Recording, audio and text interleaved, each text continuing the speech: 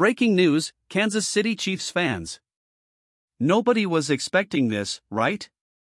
But first, make sure to subscribe to the channel so you can stay updated on all the latest news from Chiefs. And don't forget to turn on notifications so you never miss a thing. The Kansas City Chiefs have found their solution at the right tackle position. According to a report from ESPN's Adam Schefter, the Chiefs have agreed with Jacksonville Jaguars RT Jawaan Taylor on a four year deal worth $80 million, including $60 million in guaranteed money. It's a big money deal for one of the top free agents on the right side of the line, helping build up their depth after the loss of Andrew Wylie to the Washington Commanders.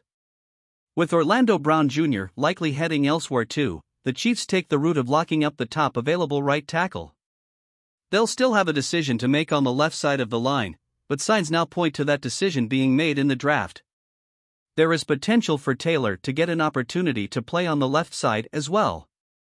As for Taylor, this former second round draft pick out of the University of Florida in 2019 is just 25 years old and was one of the best pass blocking right tackles in the NFL just a season ago.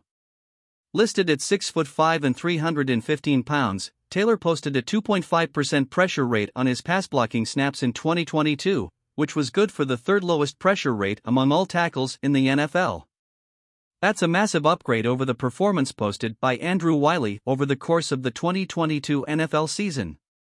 Now, Taylor comes to one of the most pass heavy offenses in the NFL and will be asked to do plenty more pass blocking for the Kansas City Chiefs. And you, did you like this signing? Do you think he will perform well playing for the Chiefs? Comment below.